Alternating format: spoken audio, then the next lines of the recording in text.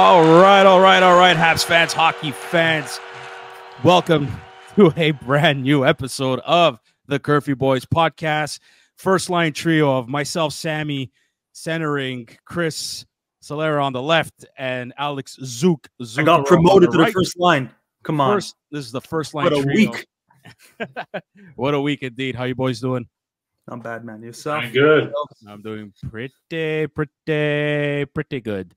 Been watching some Larry David Curb Your Enthusiasm episodes of the new season, and it's fucking hilarious. so I still didn't see the new season. So I'm doing pretty, pretty, pretty, It's pretty good. it's the final season, eh? the final season.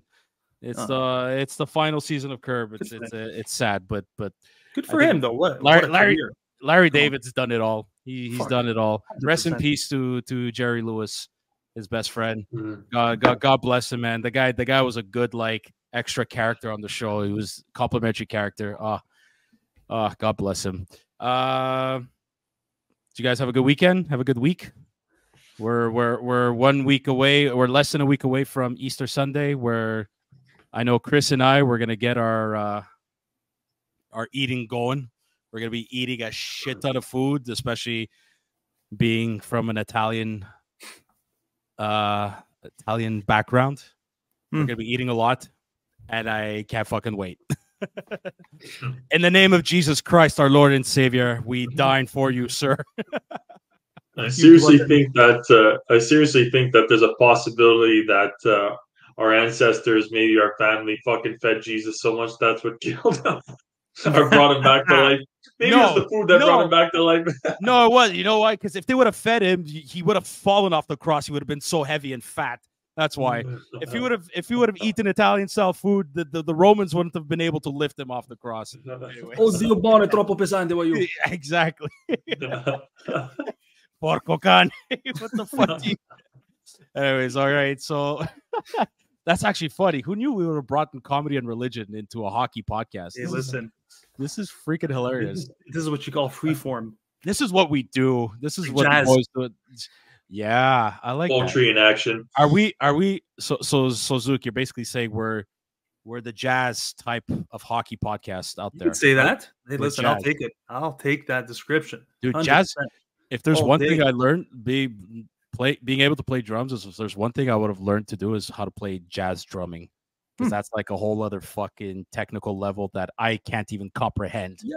You It's a watched the movie Whiplash too many times. I love that. haven't you? Yeah, no, but yeah, but that's that's different. That's that's that's not jazz. That's that's it is, but it's like big band jazz. It's different. It's not like Okay, it's- that's it's what I had in mind when you said it's it. not it's not like the lounge like the like the lounge type of jazz like the smooth lounge bar jazz whip Mm. whip and don't don't get me wrong i fucking love that movie whiplash it was a fantastic movie so uh but yeah but even that style of drumming too i wish i would have learned but uh i just stick to the 4-4 beat rock and roll John Bonham just beat the pound of beat the shit out of the drums but anyways boys let's get into it but before we do uh reminder to all of our listeners that this episode is brought to you by Quuik Feet. Quuik Feet offers the simplest, most effective way to customize your skates, ensuring you're perfectly positioned every pivot and turn you make. Simply slide one, two, or even three of these insoles in your existing insoles, giving you more power and stability on the ice, whether you're competing at a highest level, skating as a hobby, or trying to skate like Zook. I'm telling you, Quuik Feet will provide the ultimate enhancement for anyone looking to maximize their performance. Head over to quuikfeet.com. That's Q U U I K feet. Again, Q U U I K feet.com. And now to unlock a 10% discount with our promo code Curfew Boys 10, skate into a new era of on ice performance and elevate your game with Quuik Feet. And once again, I keep using these insoles to play hockey. I played last night and gotta say, I I'm loving this product every single So, time. It, Explain to me how, because like you said earlier, I'm not a great skater. So how does it really enhance your skating? In what It- ways? it-? It's well because it, if if you look at a skate, the boot Yeah. like the toes, the toes are are slanted a bit downwards.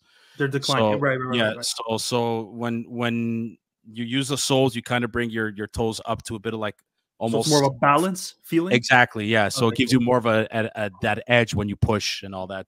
And there's different ways. If you go to their website, they they tell you how to check out if you need to insert one, two, or three insoles. Nice. It's really, really, really well done. There's in the package here. It explains how how to uh, how to go about it. And uh, Alex and the guys at Quuik Feet, they really uh, they've done a, a, great job with this product. So, yeah, you really have because uh, Sammy keeps forgetting to uh, you know share well, those. Uh, well, God be... knows how many packs he's been he's been through at this point in time. I've only stuck you with know? one. I got Just... the rest. I'm seeing you on Sunday. Shut up. You're gonna get it. I'm gonna slide it in your your. I'm trying to gonna, prove I'm a testament to the testament back to religion. We want to we want to show how good it is. You're keeping them. You're using them. That's what counts. They're listen, amazing. I'll slide them under your plate of lasagna, and you'll get them right there. Okay, on Sunday. If, if we're in the spirit, they're gonna be they're gonna be eaten. But uh no, you you, you don't want to everything that they put in front of us. We just destroy, devour. Anyways, no, you, you, you don't want to eat any insults. But uh, boys, let's let's get uh, started with our lovely Montreal Canadiens, um, coming off a two-game winning streak, uh, ending the West Coast uh, road trip, and there's nothing but positives going on, eh? Like, yeah. do you do do we see any negativity right now surrounding this team? I I I I, I honestly I cannot I cannot find a single negative thing as a whole to talk Look, about with this team. I really, really, I can't. I can't say anything negative about this team right now as a whole. Even Marty said it in his first interview back. He's like, he was watching the team from his TV and he was mm-hmm. happy to see what he was what you know the stuff he was seeing on the ice. He was happy so to see happy. So how the players were buying into the the whole philosophy that he's trying to instill. Yeah, he and, was he, he was in touch with uh, Letowski, and even though they didn't win a lot of games when he was away, the spirit was still there. Yeah, the fight was still there. And well, yeah, that's look- to me a positive thing because it's like you yeah. remember when coaches were changed in the Habs in the past during the you know like midseason uh, mm-hmm. or in the playoffs or with Dominic Ducharme and all that stuff. Like you, mm-hmm. you saw there was a difference of of vibe in the team and play style and whatnot. That could be a good thing or a bad thing, depending how you're looking at it. Well, you think you think Luke Rich, Luke Richardson when he took over versus Vegas was they played a bit different? Then... Just about to say when Luke Richards took over, they played some of their best hockey. That's when yeah. they dominated and beat Vegas. I found as if it was like, like, a weight was lifted off their shoulders. You know? Yeah. yeah, but but but, said, but or the eyebrows were. We're gonna. Re- they did, but they did say we're we feel as though we're ready to go through a wall for Luke Richardson. I never heard that once about Dominic Ducharme. But, but that's put a series that also head through a wall and not yeah, come through. But but the problem with that's not that there was a problem, but on a on a physical level, that series ended up destroying them like physically. Physically. Like yeah. I think that's where guys that's where guys got hurt. It was during that series and they battled they battled it out there like like the toughest guys on the planet, but it was that series that that really hurt them physically and then I, they weren't able to keep up with Tampa. But all that let's go back. First of all, super happy that everything's okay with Marty and his son that he revealed he revealed about his son got into he got hurt during a game and then there were more complications later on, and that's why he was hospitalized. But he's okay. He's recovering. He's at home. So just on the overall, like super happy to hear that Marty's it back. Was a collision happy. or something, eh? I, I, I honestly, I just, I just listened to what Marty said uh, when he released. He released a statement. Uh, I don't know if it was, uh, I don't know if it was uh, something to the head, anywhere else on the upper body, lower body honestly, at this point, don't know. My opinion, don't care. As long as the kid's fine, his family's fine. But uh, um, Martin McGuire posted uh, or reported that he surprised the guys at the hotel before the Colorado game. I think at 24 hours before. Like when he came back, when he said he was he's mm-hmm. back, I think before he announced it, he surprised everyone at the hotel and at the hotel lobby. And as guys were coming in like he was like they were all surprised. They were hugging him. And apparently there was like i don't know if it was kid it was kent hughes who was the number one uh like okay really yeah. heartfelt hug and was it uh, was it hughes was it hughes or was it somebody hugged kent him and, and and it looked like it was i don't i i, I don't know why i have Kaiden Guhle in mind. What a management though. Fuck, what a difference. okay. It's like it's but but oh, but do we so under- nice to see. I don't I don't think or maybe maybe we do we do understand finally like there there's such a bond with this team. Mm-hmm. But like at all levels here, like not just within the players and and the coaching staff, and or at least with Marty specifically. But it, it feels like with everybody, there's a mm-hmm. whole like like as this rebuild keeps going, the more and more we keep finding out how close not just this team, the organization is. And if Chris, if you're there's there's a very good chance you're right. If it is Kent Hughes that had like that hug that hugged the guy for like a, quite a few minutes and maybe got emotional here and there, like there's a strong bond going on with this team, and other teams better be fearful of it. I, I'm I'm serious. I'm not I'm not messing around. Like this is going to be dangerous for other teams, and and oh, like yeah. for us, we're like we're probably witnessing hopefully I know Anthony uses the word dynasty. I'm not going to go that far as a dynasty, but there's really a winning culture that other franchises finally got to go to the Stanley Cup and I think now more than ever we're really starting to see, without the final without the key pieces coming in, the young players that we're going to mention later in this episode, there's something fucking brewing here and it's that's what I said last episode. Like that's exactly for the first time in a while, just the talent in the pipeline, the development that's going on with the top players, the contribution from the supporting players. Even if we take, uh, we're, we're obviously going to get to talk about Alex Newhook, but Alex Newhook, had he been healthy, that's a guy who's putting in 20 to 25 goals. That's that's that's an amazing pickup. But a thousand percent. Just to stick with the whole culture thing, and and when you said other teams have to be worried, I think the first thing that came to mind was uh, sleep and fear. Uh, rest of the NHL, but um, mm-hmm. in all honesty, it's the first time we heard we grew up hearing there were cliques in the locker room. There was the Koivu and even Kovalev sometimes division. Mm-hmm. Um, I don't, I don't want to go there. I don't want to make accusations that it was too no, young to probably there, even understand. There could have been, been, there could have been even the Pacioretty and Subban click division too.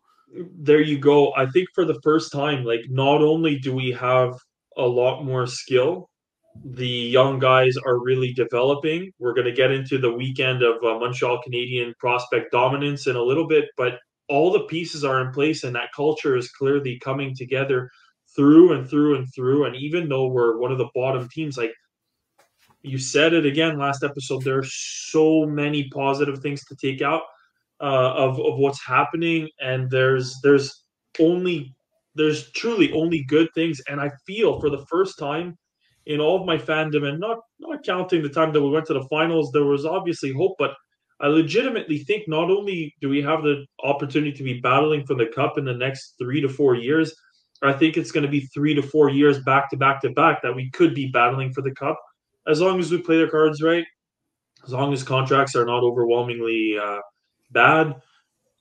Everything is falling culture, talent, development, uh, and, and just that overall bond. I think we're seeing, like, in all honesty, we keep kissing Boston's ass for what they established. But when Patrice Bergeron and Zdeno uh, Chara was was still there, what they established from 2011 all the way to fucking 2020. They were goddamn dominant, and they were they were a group. That's the last point. They were a group that pushed one another so freaking hard. They held each other accountable so much. They held they held each other uh, accountable on that team, and so does Jim Montgomery. And I feel like Marty has that same coaching style too. I think. Yeah, but you, but you know, valid you know, you know what I, I and this wants to I, I really want to lead Chris. Everything you said, fantastic. And I want to add in, I think in terms of the players, I think that's why Nick Suzuki is the captain because of that. And I've I think he learned that from the playoff run with Price, Shea Weber, Shea Weber, Corey Perry, throw in Eric Staal in there. Throw in, throw, throw in, throw in Joel Edmundson in there if you want. Even if, if you want Jeff Petry, maybe a Philip Dan, like Ben. They, they, ben Chiarot, you know that, what I mean. But Cole Caufield was there too. But I think Nick's, I think Nick Suzuki, because he was there before Cole. Like I, it start. I think it starts with him. And I know Chris, we mentioned him last episode or last time you and I spoke, but we have to talk about Nick Suzuki guy just fucking he he he just attained a new uh, uh, uh record career high points. Career high yeah. in points. He just beat last. he's a career high in goals, a career high in points.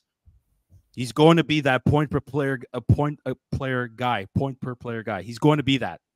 Point per player guy? Point per game player. Let me repeat that. He's going to be that point per game player, player. guy. There you go. There you go. Thank you. Sorry. Good job. But but, but I, I I'm serious. Add in the fact that he's learned from a guy like Sean Monahan last season and this season. It starts with him. And it's propagating. I think it's propagating to the key pieces. Obviously, to um, Cole Caufield, definitely to Juraj Slafkovsky, who we're going to get to later. And I think on defense as well, but on defense, like Guhle, Xhekaj, Struble, Harris, they have Savard and Matheson to look at as well. You combine all of that together and you mix it up together. There's something, there's something good brewing here with this team. Zook, Zook deserves the chance to say it, but I just want to slip in because you slipped in the Nick Suzuki point. I am so happy, so so so happy that Nick Suzuki and Cole Caufield's contracts are going to be the uh, the basis of all future contracts for this for this team. I think we can be competitive with that alone. And if you have a point per game player making that money, it's going to be very hard for other players to come in from the outside and demand much more. So I'll leave it at that, and I'll hand it off to Zook because I've spoken enough. No, uh, yeah, you, you, both said all. Uh, I remember hearing this from Guhle. I remember when I think it was his first season playing with the Canadiens full time, if you will.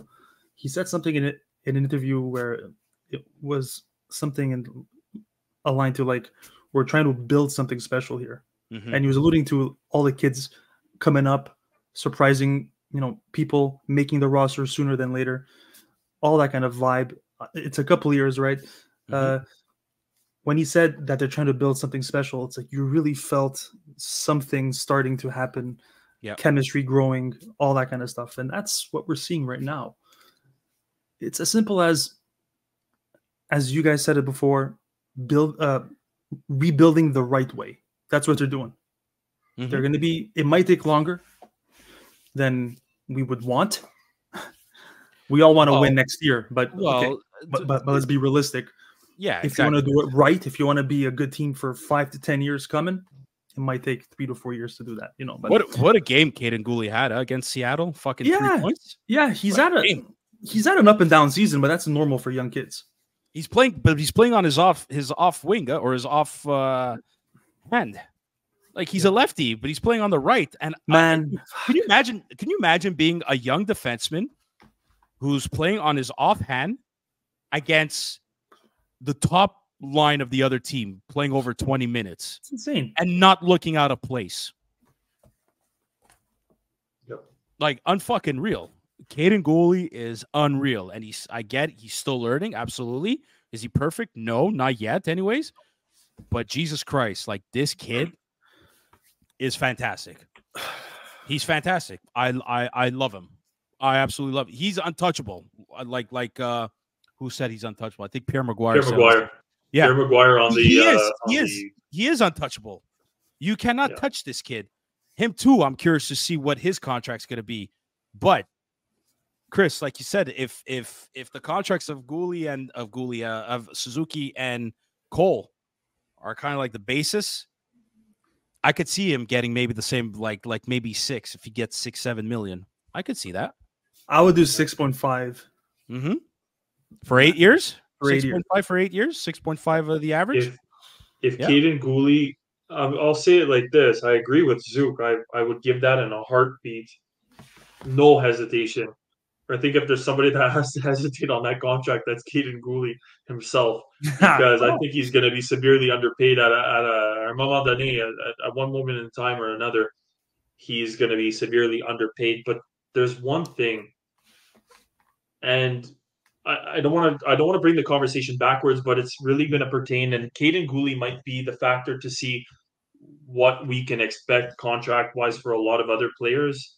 Um, it, so I'll start with when you said we're trying to build something special. I think for the first time you actually have not only guys that are just genuinely good human beings, mm-hmm. they're not necessarily gym rats, but they're like they're students of the game. They really genuinely look invested, and they actually look like they truly want to, uh, again, build off of one another. So I think like the off ice problems are are one thing, but the reason why I went back to this and I wanted to, you know, rather than move on to the next topic, we've spent years looking at, especially I think like the Tampa Bay Lightning, and again another one are the Boston Bruins, and I don't want to go there, but even like the Toronto Maple Leafs when you had Nick Foligno, Jason Spezza, mm-hmm. that's a whole other level of signing dirt cheap contracts. But I feel really Tampa Bay Lightning was probably the number one in doing this. A lot of really good players signed for a lot less than what they're worth. I understand that the taxes are different, but my God, if we have a handful of players, again, who are just going to follow along and fall in line with the Suzuki contract, we're going to be able to have like seven, eight, nine players potentially that are really high caliber players, not superstar players, but star players with really reasonable contracts as the salary cap is going up. And really, it's just going to be a dominant force for years where they could just add on and change up any player that either gets greedy if there's another opportunity that comes up eh, in in that like there's a great free agent that wants to come and sign in Montreal, it it's a it's truly what Sammy said. A lot of other teams have to be very scared and and mindful about what the Montreal Canadiens organization is going to be in a few years. It's it's going to be the place to be. I I don't buy this shit anymore that players don't want to come to Montreal.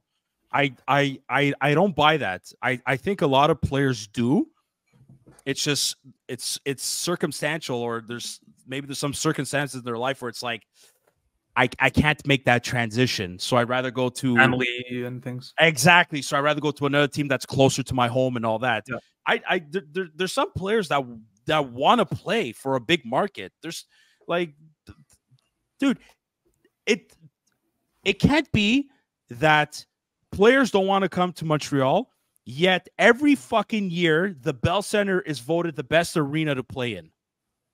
Like it, it, it come on. Like I get taxes, weather, and all that.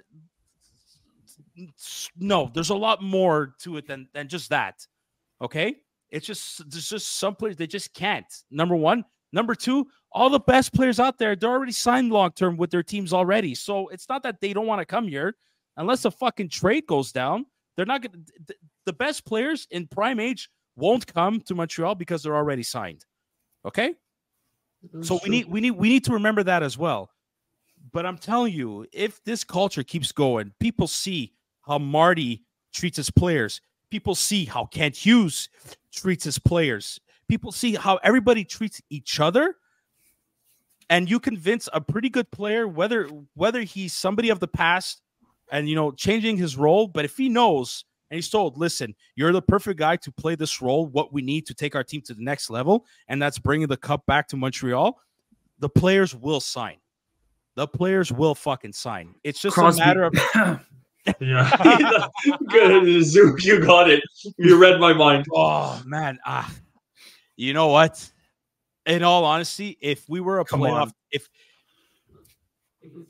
uh, I, I, I want to believe me. I think I want it more than jizz, anybody else. Like the word jizz is Dude, beyond. I, I I want jizz about the thought of Crosby playing for the Montreal Canadiens more than anybody in this city, more than anybody within this fan base. I just think where the Canadiens are right now in the rebuild and where Crosby is in his career, man, if we were if we were a year or two ahead mm. of where the plan is, then yes, I would see Crosby come. If we were a team that was able to make the playoffs, because I see that happening in two years from now. If we were fast forward two years from now, but Crosby was still in the same situation, then yes, I could probably see. I could probably see that happen, but right but, now, as at this very moment, I I'm not sure. I, I'm, yeah, I'm not Sam, I'm not too sure. As as of this moment, maybe not, but it's very likely that uh, Crosby is going to sign a contract extension in Pittsburgh. But even if that's let's say mm, another three. I, I, I don't think so, dude. Dude, I think Kyle Dubas you is don't, ready. You do not think, think, the number I, of seats in the arena is the like the last two numbers for the number of seats in the arena in Pittsburgh mm-hmm. is 87 specifically for Crosby. Like they built the whole franchise around it, uh, around him. The only way I see this happening is you're saying we're we're if we're two years ahead. I understand, but I still think that it could be something like a Raymond Raymond Bourque type Boston, Colorado, the last push when the Montreal Canadiens are there. Pittsburgh is going to say, "Look, Sid, it's time to move on. You're going to are you are you going to retire? Maybe you'll play one more year, but we're not going to get much more for you than we will now." I do think at that moment in time there is a possibility that Crosby comes on, and Crosby is not going to be Crosby. We have to think of him more as like a a much better Eric Staal or Corey Perry, but nevertheless, I could see Crosby coming in and playing that role at that point in time. But the difference with Crosby versus any of those players is that guy, and I, mm. my God, I'm opening up a whole other can of worms here, mm. but I genuinely think Sidney Crosby is the best hockey player to ever play all time, all around. Mm-hmm. This guy, it's whatever he's played, wherever he's played at any single level, he has won. This guy just makes shit happen and he wins. He doesn't win every year, but again, you take Olympics, yeah. NHL. He has he didn't play in the AHL because he jumped right into the league, but every oh, no, single competition that like he's that. played in, he can take your team mentally uh, and I think emotionally just to to another level. So I will not stop fantasizing about having a guy, especially that guy, Kyle, to Montreal. Kyle, Kyle Dubas is not going to trade Crosby to Montreal at the, next year. Crosby has one year left on his not contract. next year. No, he, no, not he, next year. Crosby's not going to come here on a multi-year. I like I said. No, no, I know. the expiration of his contract, whenever that may be. I next, still think there's an extension though in between time. Uh, uh, I don't, I, I don't know. I just think Kyle Dubas is going to pull the plug on this team and start a rebuild. Like he's already getting rid of Guentzel. He's gotten rid of a few pieces. I think he's going to get rid of Malkin. I think he's going to get rid of Letang. If you keep Crosby, maybe. Oh, we got. Sorry, I'm here to. I'm here to interrupt. The Laval mm-hmm. Rocket just scored and got a 1-0 lead over Utica. Who scored? But I will uh, look right now. I don't know if it's uh Bissell. I'm not sure exactly. Sorry, Chris, not to not to cut you off. Is that Mailloux? Or is it finally fucking uh, Jacob Perreault? I think it is. I think Jacob Perreault finally fucking scored. All right, cool. Good for you, kid. I know it took you a long time, but it's okay. I don't I I I, I next year is gonna be the big next year in the NHL, the big question is gonna be what's gonna happen with Sidney Crosby at the end of his contract. Look, right now he has 76 points in 71 games. 36 year old. Yeah. Yeah. Yeah. Insane. He's he's the best player ever. he's, he's above the, a point a game still.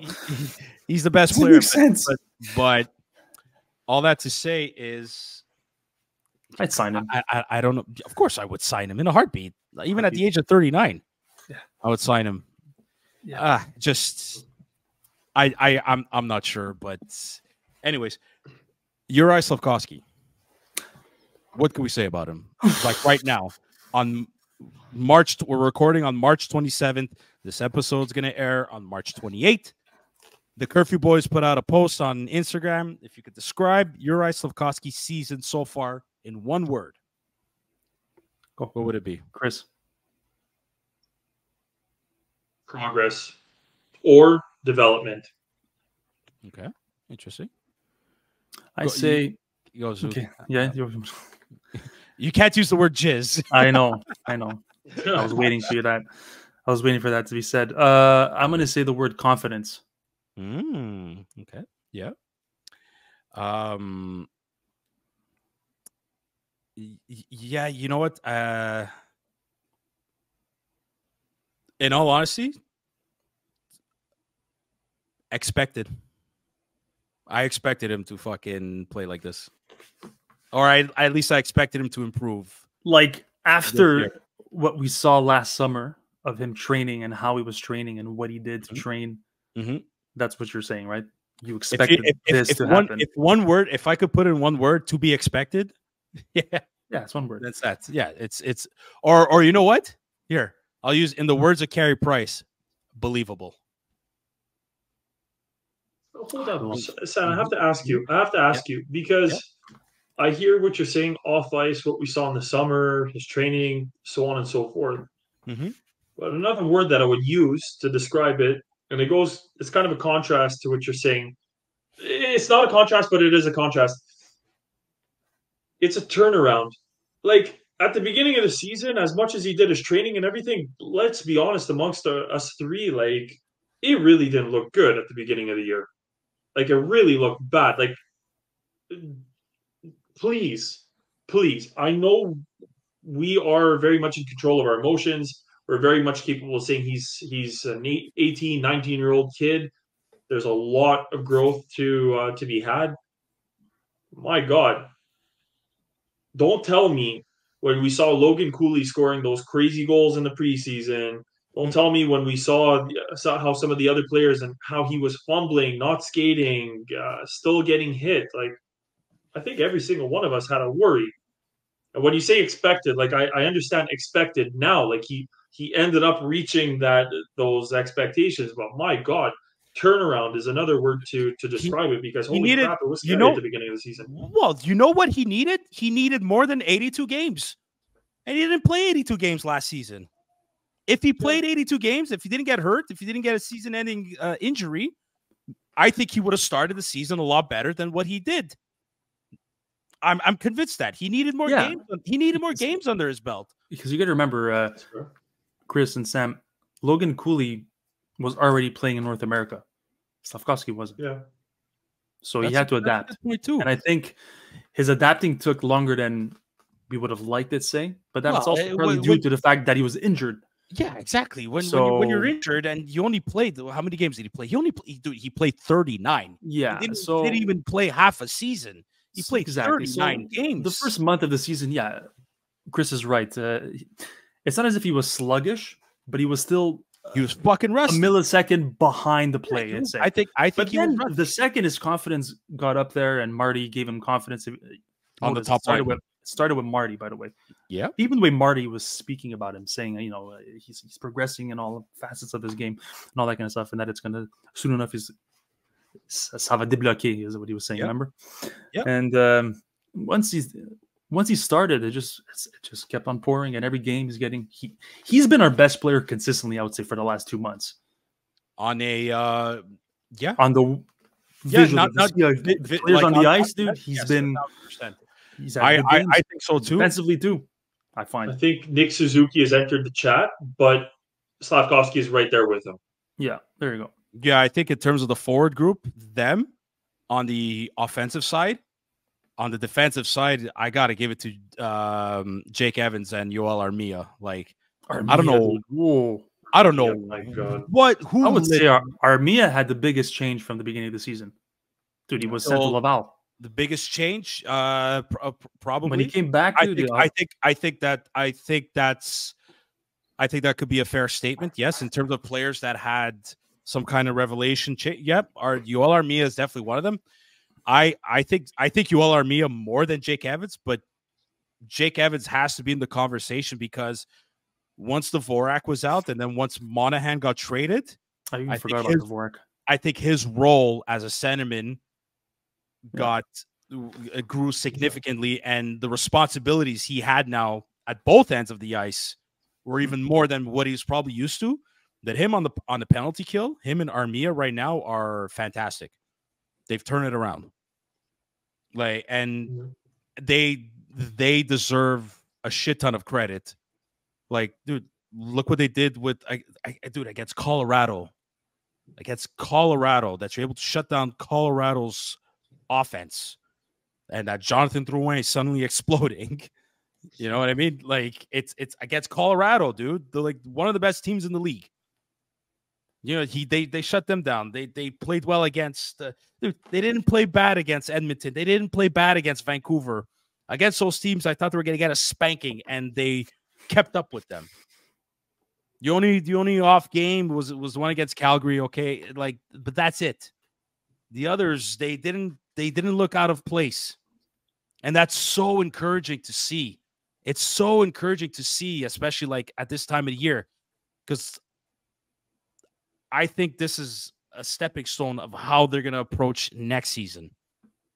And next season, it's it's just if if they could keep playing the way they're playing, it's it's good for their confidence when they start next season. That that's my opinion. Yep. Yeah. So perfectly in agreement. Okay, well, it, in unison. You know what? Actually, Chris, a player I want to talk about too. He doesn't. We don't really get talk, but Alex Newhook. Like, what would have been if he never got hurt? If he wasn't out for eight eight weeks? Okay, so we're. I'm curious. Like every single game, obviously, as much as I'm watching the game, I'm still tracking. Like I'm always opening up the Montreal Canadiens application, just checking what the points are looking like, how close Suzuki is to have a having a point um, per game. Honestly, I just do it. I think because it's refreshing to actually have a player who's producing uh, mm-hmm. for once uh, for the first time in God knows how many years. But in opening up the application and, and setting the team line in terms of goals, Newhook's at 12 goals. He's fourth in scoring mm-hmm. with 44 games. Mm-hmm. Suzuki's got 29, but that's 71 games. It, it, like the the the goals per game ratio for Alex Newhook, he's honest to God, he's a he's a 20 to 25 goal scorer, which is a huge addition. We expected him to yeah. score like 15, maybe to, like maybe around the 15 to 20 mark. This is well over 20 that you would be on pace for. Yep. Let's hope that let's look. We don't. I don't know an overwhelming amount about the guy because he's so young. There's not much of like a track record that you can go and base and say Dude, he's look, always injured or he's always healthy. His college numbers, oh, man. man. He, his college numbers are really good. In Boston College, you, we're gonna talk about Boston College later, man. I'm telling you, but he's come. He, yeah. Uh, just to say, Alex Newhook stays healthy, he's going to be, I think he's going to be a pivotal player. Uh, the only thing that maybe fans are going to disagree with, you guys are going to disagree with, I'm not 100%. He's good enough to be on a second line and get that amount of time. Dude. But I think he's going to be like a superb third liner, like top tier, one of the best third liners in the league when when the team you, is really ready to compete. You wouldn't put him on a second line with Kirby Dach on the left wing? I would. I would absolutely. I'm not saying that he's not a second liner. I do think that he's he is a second liner. I'm just saying he I don't know. I I I just got this maybe this hope that uh, we're gonna have another super offensive player to play with Kirby Dach, but no matter what, under any circumstances, whether he's playing second or third line, I think Alex Newhook not only has his place on the team, but he's going to be a pivotal element that's that's really going to help us go as his as far as we uh, dream we can go. His career high is 14 goals last season with Colorado in 82 games. This year he has 12 in 44, like you said. He's two goals away from time and without Dach, Imagine with a healthy Dach.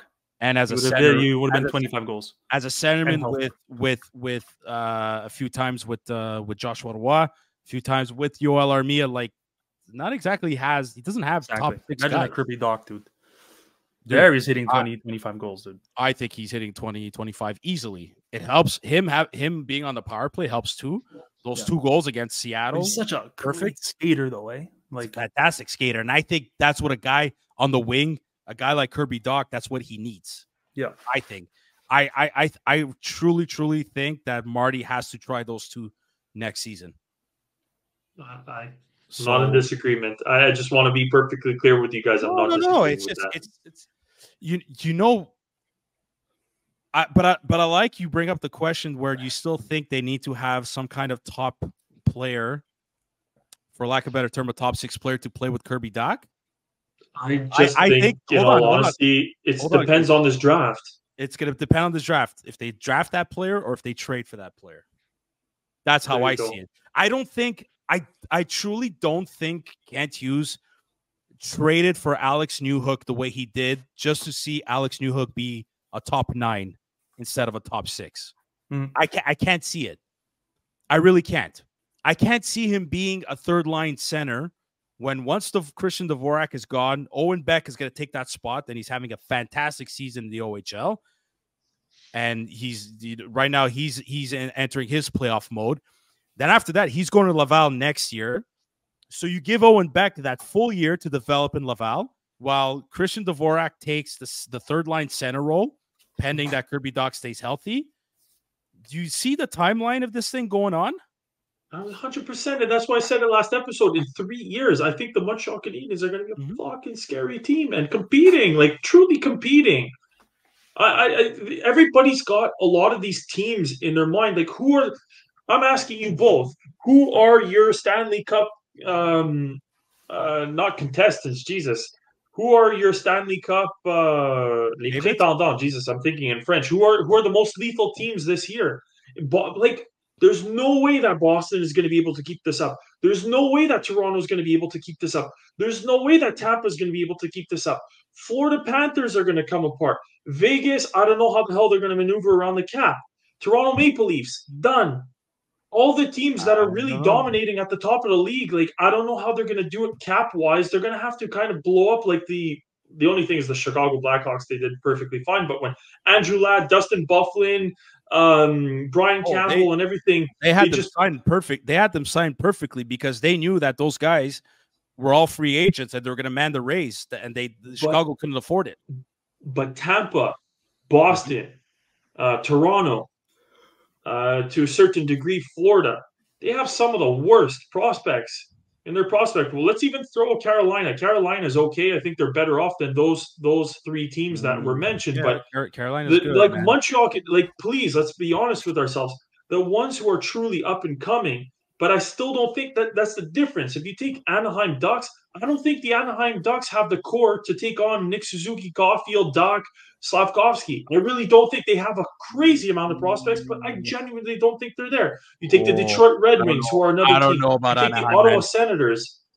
Uh, dude, don't. I'm just saying. Anaheim I'm, I'm not you, saying that they. Well, that was it was the first team that I mentioned for a reason. Anaheim has some of the best prospects. Yeah. But I'm talking about winning culture with talent, with toughness, uh, with discipline. Who knows? If they I build, don't if think they, the Montreal Canadiens are going to be properly, touched. Uh, I don't know, man. dude. I, okay, hold on a sec. Anaheim Ducks in the future, like, listen, I don't think they're going to get rid of Trevor Zegras like everybody thinks they will.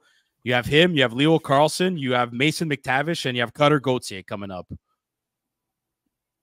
Chris, that's that's fucking solid. That's I like named like, them first the for a reason. they're they're gonna be the next. So, so, you know how the Toronto Maple Leafs kind of built their team around Matthews Marner, um, Nylander, Nylander, and and I think Toronto. I, I think Anaheim is gonna be kind of like that, except they're probably gonna be have to be careful with how they distribute those contracts and not have five players control more than 50% of the fucking salary cap in the team. So we'll see. But we'll see. It. But that's why I'm saying the much and I can't emphasize I, I don't feel like I have the capacity to express myself in properly to to say that like do you not notice the stars are aligning like down to the amount of money that they're going to be asking for their contracts to the way that they approach the game to the culture within the locker room to the balance of talent and and certain toughness to like all all the distribution of talent not only being up top but also on defense and I think now's the time to maybe transition into the weekend of uh, Montreal Canadien glory prospects. We have one of the top tier goaltenders. We have all positions, all with like everything is just falling in line. We still need that. We still need that top six forward. We do one more, and I think, and again, I think Hughes and Gorton are going to either draft him this year or they're going to trade for him this year. I really, really think so. You want to talk about? I'm ready to talk about it. But like, what a fucking weekend Habs Nation got to see on Friday, on Saturday, and on Sunday. I, I don't even know who to begin with. I don't know if we should begin with the Laval Rockets, with the arrival of David Reinbacher. I don't know whether to begin with Jacob Fowler and just being like, yeah, I'm the next Dominik Hasek, just just American style. I don't know if we talk about Lane Hutson and who just likes to he thinks he could toe drag everyone and snipe it in the net on a power play. I don't know where to begin about uh, Hutson versus Fowler. I don't know where to begin about Logan Mailloux sniping a game winner in overtime and how the Laval Rocket fucking three games in three days and they won all three. Yeah. Fuck it. We're, we're, we're on the top. Okay, it's Reinbacher. All right, Zook. perfect. you you you you you just you just got the topic started. I don't think I don't think it's a coincidence that Laval won three games in three nights right after David Reinbacher shows up. I don't think it's a coincidence. I really think this team saw someone within the organization that's drafted top five, obviously, and probably brought some kind of new life, probably brought some kind of extra reason to fight because right now Laval is playing for their playoff lives and they only have nine games remaining, including the one that is playing being played at right now against three teams that they're trying to catch up to the Belleville Senators and the Toronto Marlies. Listen, the way that David Reinbacher, the first game, we saw the highlights. Everyone saw the highlights. I did not expect a fucking Bobby Orr toe drag deke and snipe it to tie the game with less than three, four minutes left. Like, that, I, I don't think we realize how much even that lit a fire under their fucking asses for the Laval Rocket. I and and I think you know we talk about team team culture and winning culture amongst the Canadiens. I also think it propagates to Laval Rockets where there's no egos. I don't think there's any egos on this team because let's be honest, depends the team, depends the players. When you're 24, 25, 26 and you haven't made the NHL yet, you see a young kid, 18, 19 years old, coming from Europe, knowing that he's going to get a chance one day. Sometimes the jealousy kicks in. Sometimes, like, fuck, I gotta shit. Now my spot is, I there's a lot more competition for my spot. I really need to wake up or something. I don't think there's any of that with this with this whole franchise, this organization. And you saw it. You saw it with the Laval Rocket. They they do they played for one another this past weekend. Three games, three games in three nights. David Reinbacher played three games in in in in in, in a month in hmm. fucking Europe. Kid comes here, plays three games in three nights. No problem. What a development. Uh, no problem. Aid. It's gonna be this. Oh fuck. No, no problem. Dude. I'll fucking toe drag you. I'll snipe Skating though, man, his skating ability is fantastic as well too. He was not his out of place his dude, his positioning is so far. Dude. I don't want to use the word perfect, but dude, it, it, it's it's like okay. he's been it's like he's been playing in North America all Sam, season. When you saw Guhle playing Laval the first time, who Guhle? Guhle never played in Laval. He never went to Laval, so he went straight from no. the OHL. From the OHL straight to the NHL, yeah. I thought he did, he did a stint at Laval. I, I, no, no, no, no, no, sure? no, no, no. Oh, dude, dude, I'm, I'm, I'm a thousand percent positive. I, I saw him like I saw Mailloux. I saw Mailloux. I saw Xhekaj. Okay. Who else? Who else? Yeah. So then it. So then it must have been uh, Mailloux then. That I want to okay, give okay, you. Okay. Well, hold on. Hold on. Hold on. Guhle did play three games in Laval during the the uh, the COVID season. Okay, that's what I was talking. Okay, so okay, sorry. I'm sure sorry. I remember seeing his name in Laval once. Yeah, but th- this is when there were no fans in the arena, and yes. Okay. Did you see the way he was? Let's say inserted in the team and how he was playing versus how Reinbacher. Do you see who who, I think, who was better? Let's say. I think there's similarities. Okay, there's similarities. I, okay. But I, so but then I think, he's at that level think, then. Okay. But I think Guhle has a bit more of that aggressive side to his game compared to okay. Reinbacher. But in terms of in, in terms of not looking out of place, in terms of proper positioning, defensive, but that's what I mean. Defensively, yeah, very similar. David Reinbacher, so far, what I've seen, he's only made one little. He's made one little turnover in game two, and I think another turnover in game three. Just whatever. It's gonna happen. He's a rookie in this league, but his his first pass out of the zone is perfect. His his his dude, his poise though. It's the poise. It's being able to be calm under pressured situations in his own zone yeah. Do you think he's going to make it next year? Ooh, that's a fucking. and question. if so, who would? What place is going to? What what place will he be taking, or whose place? Hmm. Well, I honestly think Justin Barron's position just got threatened a little bit by. How about Kovacevic? Maybe, maybe Kovacevic. If anything, dude, is Mailloux gonna make it? Well, who, has, who, who, who has a better chance of making it next year, Mailloux or Reinbacher? I'm answering a question with a question, but I don't know. This is fucking. I think Mailloux. I think I think the I Montreal so. Canadiens are going to do it properly. There's there's one there's one thing too. You can look at it as though Mailloux is going to stay down another year and he's going to dominate another year. But Logan Mailloux was already an AHL All Star.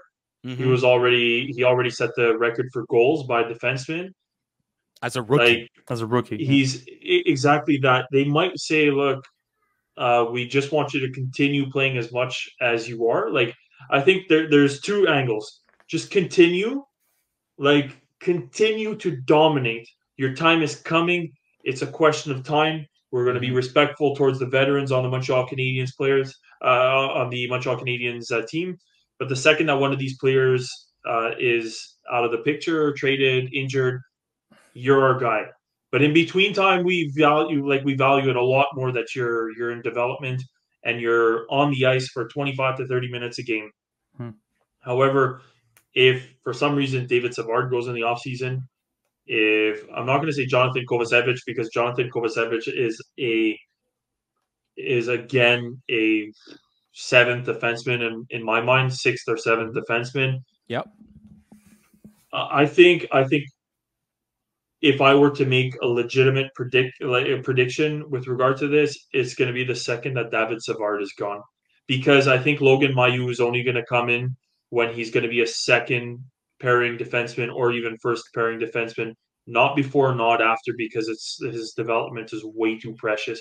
And same thing for Reinbacher. Like I think it's even more important that Reinbacher has a full year development in the AHL before it's even a question. But out of the two, Mailloux by a long shot because he's already had this one year and because he's dominated as much as he has.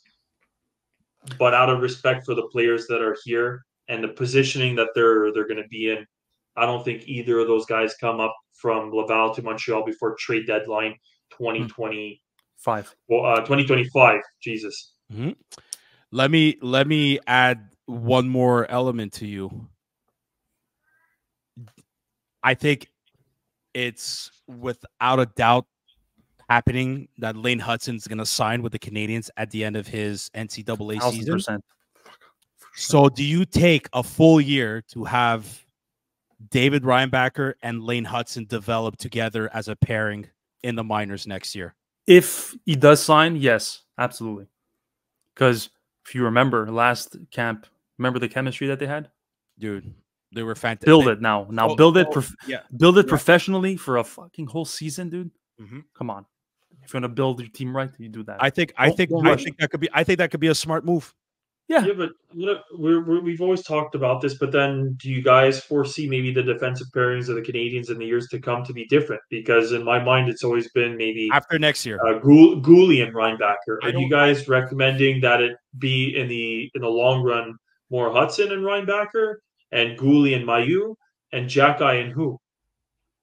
I, I, I, always say right, Jack, Jack right, staying no, no matter hold, what. Hold on a sec. Right now, Jack, next, Xhekaj and Mailloux were great together.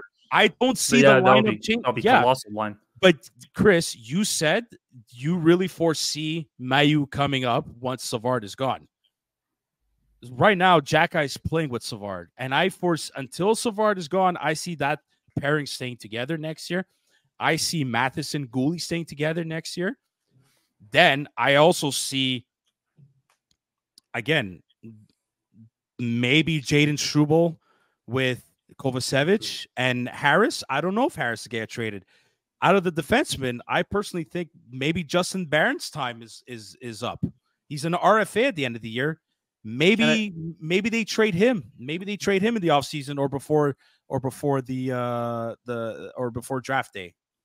I that that that's what I see. That's what I see going on. And within that time, unless again, unless Lane Hutson and David Reinbacher have an unbelievable training camp where it's like yeah.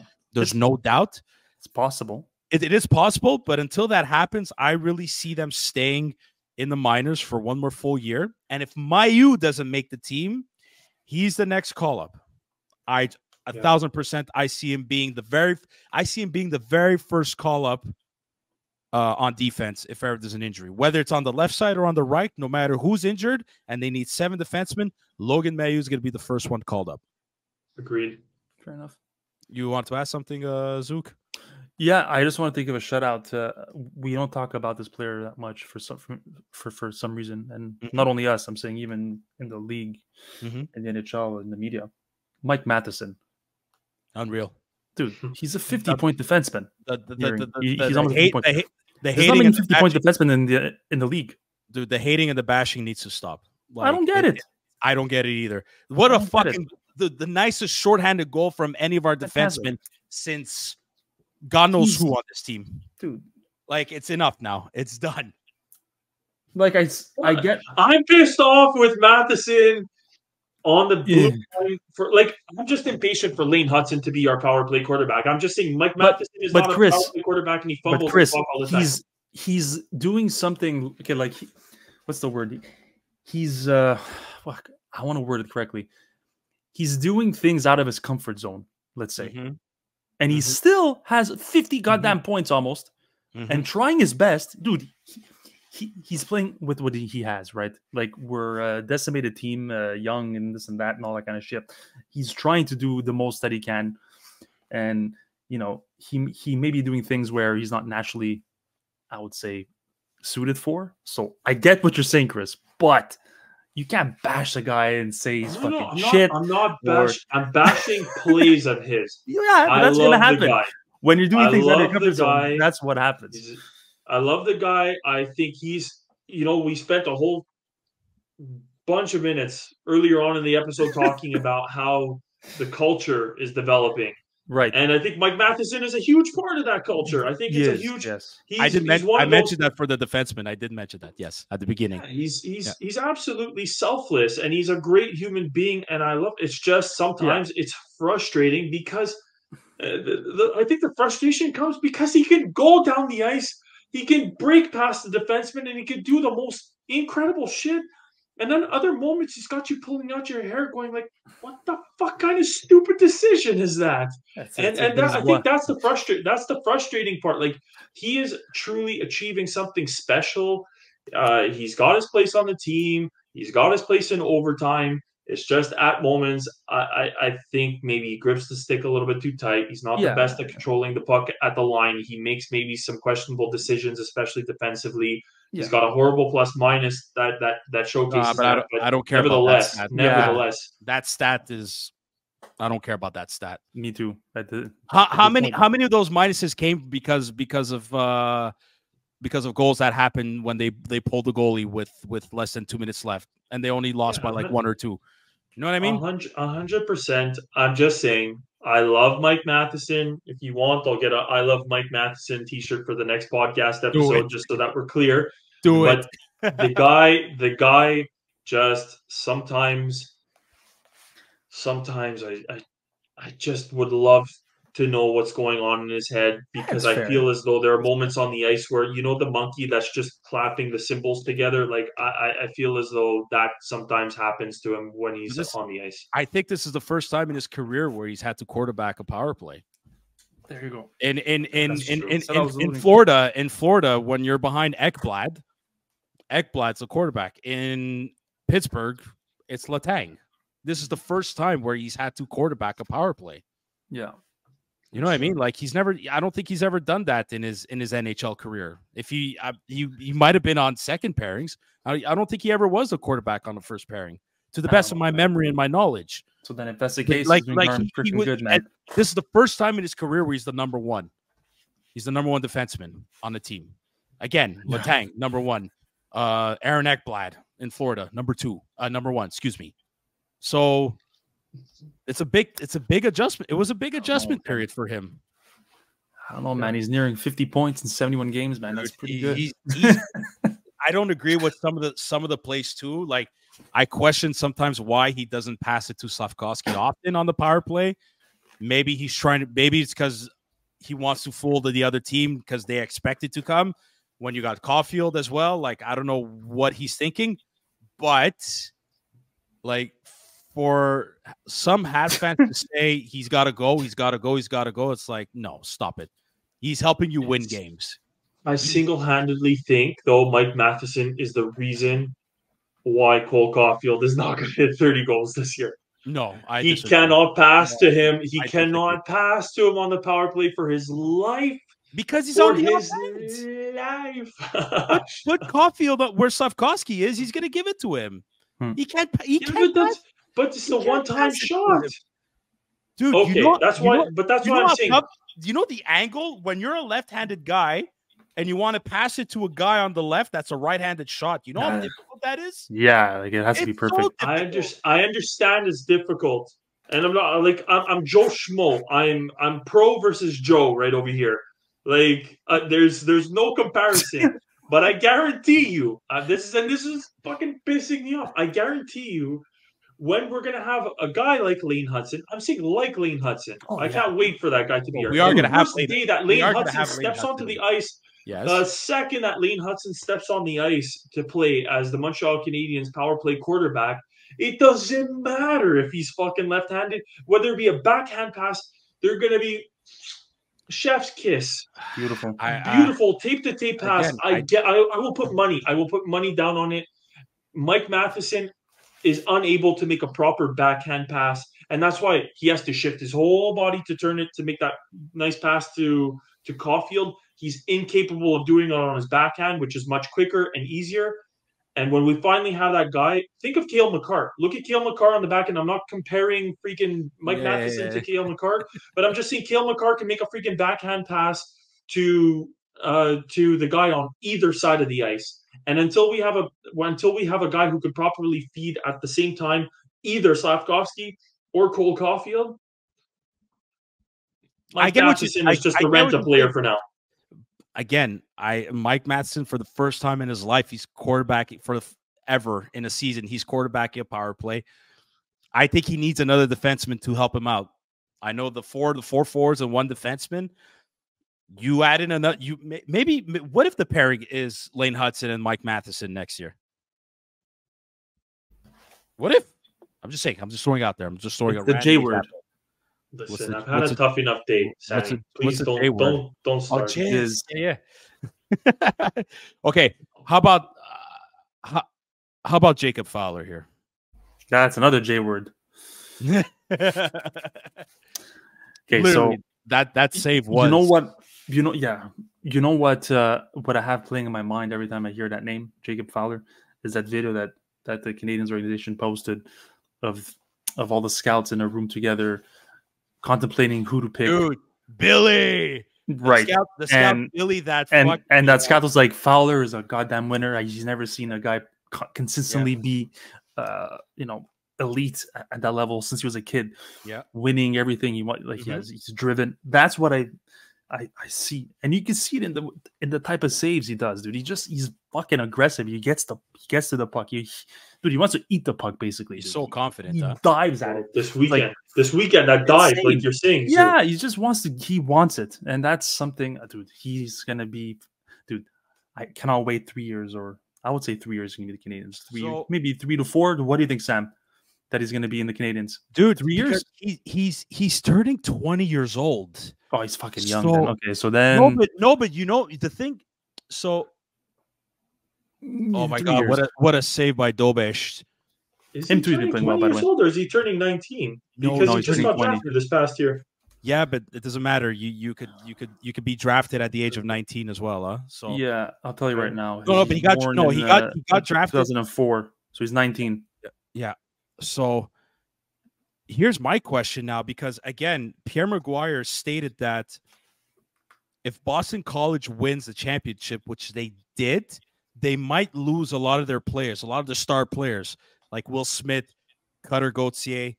I think Ryan Leonard. I think Gabe Perreault. I, I, I get a feeling that they're all going to get signed this year by their NHL teams. Hmm.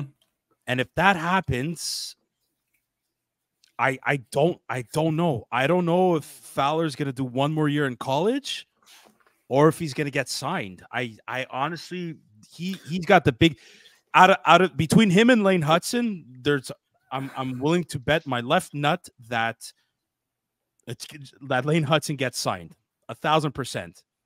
And they begin their they begin the uh the the the, the not the Frozen Four tournament, but the the the championship tournament.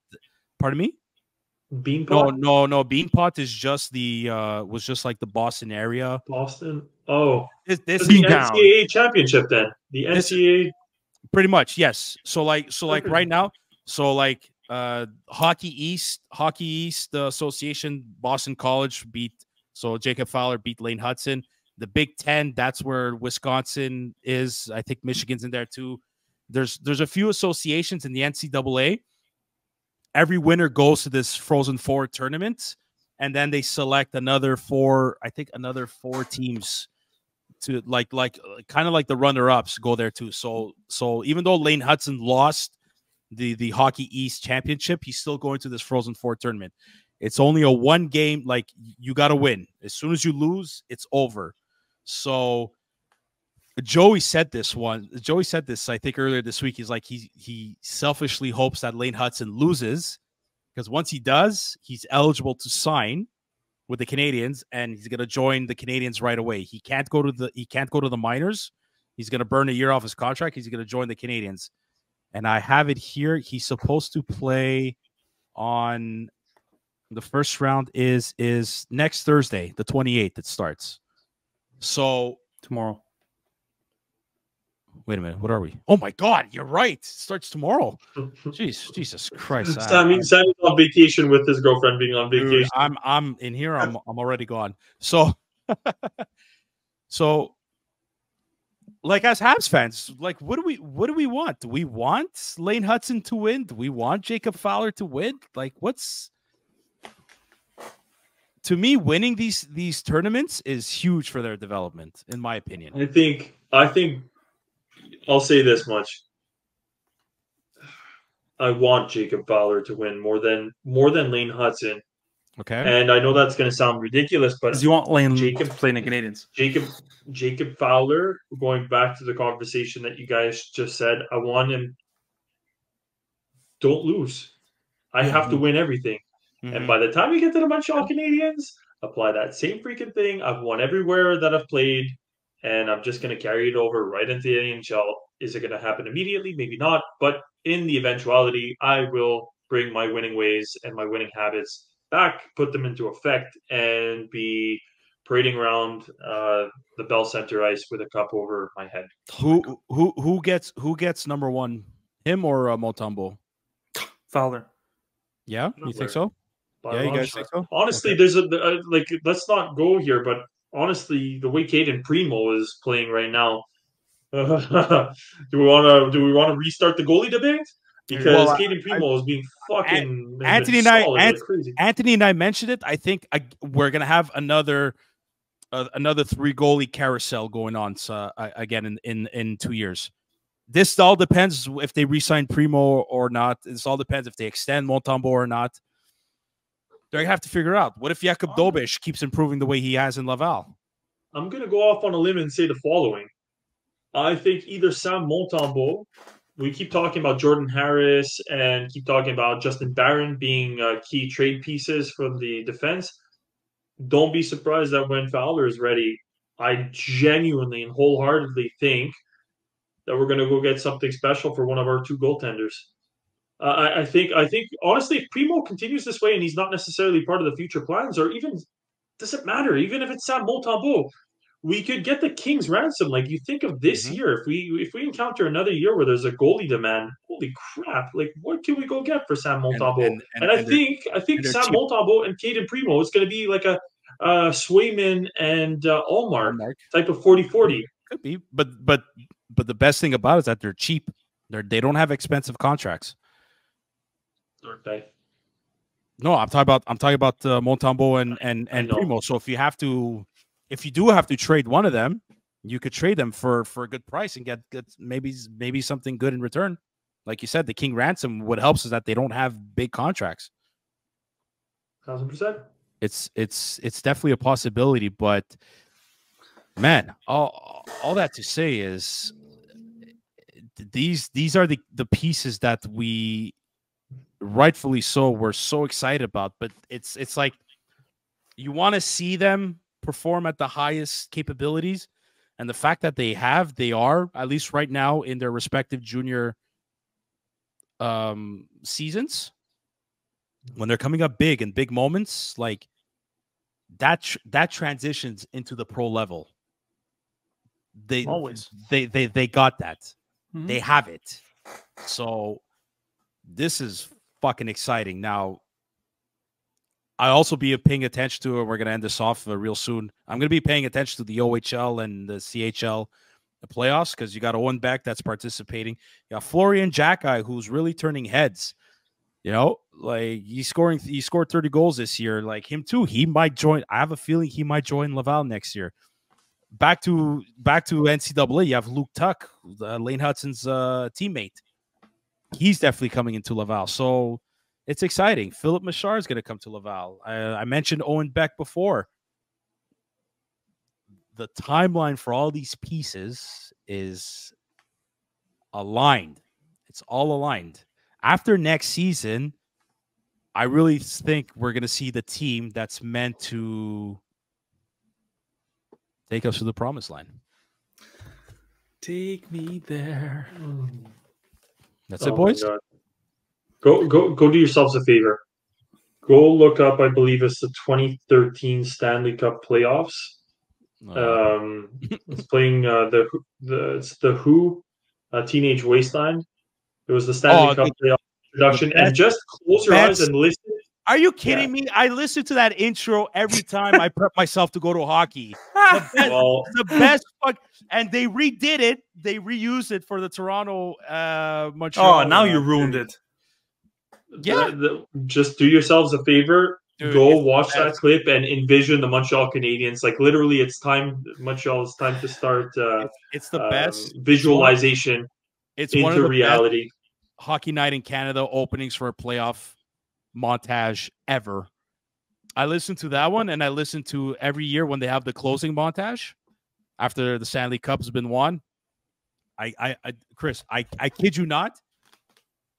I listen to those every every day, every no, not every day. Mm. Every time I have a game, like to prepare myself, I listen to those. I have full blast. You can ask the girlfriend too. Like I tell her, don't bother me. I'm in a fucking zone. Okay. I listen to these. I prepare my bag. I put my fucking Quuik Feet soles in there, and I'm in the fucking zone. Chris, if we play in a league this summer, like you need to, you have to do that too, eh? I'm just, I'm just letting you know. I don't even play, and I close myself off in the bathroom with my headphones and or my office, and I'm just listening to it. And what are you, what are you, what are you doing in there? Um, I'm, I'm watching hockey, hockey. intros. it's not even believable. It's not even believable, but that's what's going on. Oh my god. Oh, that's that's that's fantastic. I think we could end it on that note. Zook, do you do anything in the bathroom with headphones on and uh, yeah, but uh, it, it can't be spoken about on this platform. No, I'm kidding. As soon no. as we log off, you're gonna let us know what you do in the bathroom with headphones on. Cool, nah. boys. I'm I'm I'm good to end it on on this note. I don't know about you guys, but I'm good. We said it all, boys. Said it all. Listen, uh, to all our viewers who are uh, new to this podcast or have, have been with us since day one, thanks for tuning in. Uh, join the conversation. Let us know your thoughts about what we spoke uh, what we spoke about this episode. Do you think Lane Hutson's going to make the Canadiens next year, David Reinbacher or Mailloux? Do you think Fowler's going to join the organization? So many questions asked about this Montreal Canadiens organization and the prospects, but – one thing we do know for sure is that the pieces are being put together and we cannot wait to see the final puzzle. Don't forget, this episode was sponsored by Quuik Feet. Again, go on quuikfeet.com to get your 10% off for your Quuik Feet insoles. Code Curfew Boys 10 at quickfeet, Q U U I K feet.com. Thank you so much for tuning in, everybody. Please like and subscribe to our YouTube channel. It is growing. We are feeling the love. Please Continue to share the love. It is free. Tell your friends about us. Tell your fellow Habs fans about us. Uh, we cannot wait to keep growing this Montreal Canadiens community. All our episodes available on Apple Podcasts, Spotify, Google Podcasts. We are on Instagram and we are definitely on Twitter. I think that's it. Chris, happy Easter for everybody this upcoming yeah, weekend. Absolutely, happy Easter. Go egg hunting. Eat a lot. If you're Italian, we know you're gonna eat a lot. Uh, I don't know when Greek Easter is, Zook. I think you might know because I think you got some Greeks oh, in your family. But like, I do, I do have, but uh, it's definitely not yet. It's probably in a couple. Yeah, yeah. So enjoy that too. I know Greek Easter is a fucking blast. Lots it's of food. May actually this year. Food, food at midnight is the, probably one of the greatest things ever, especially when you're drunk. Guys, thanks so much for doing this. Uh, enjoy the rest of the Laval Rocket game, fighting for their playoff lives.